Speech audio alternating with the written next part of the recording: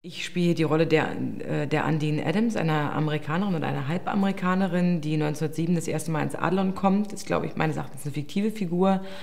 Und mit einer der Hauptfiguren ein Verhältnis beginnt mit der Alma Schad.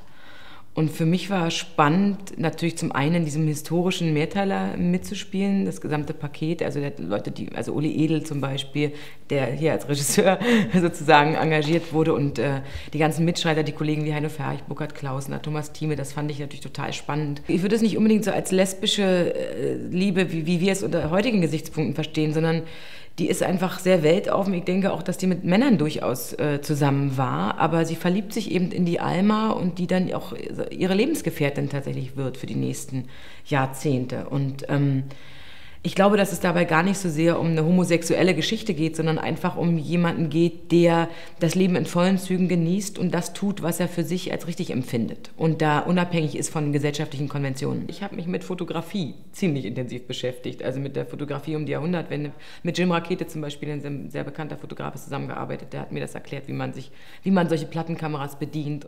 Ja, nun spielt meine Figur nicht konkret in den 20ern. Ich höre tatsächlich 1919 auf, ja.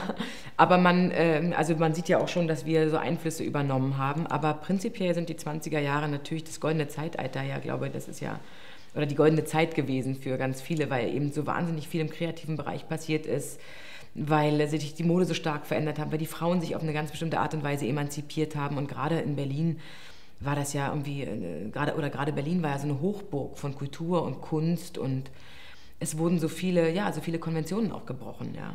Also es war eine ganz spannende Zeit. So Film ist totale Teamarbeit, ne? Du bist nichts ohne die anderen.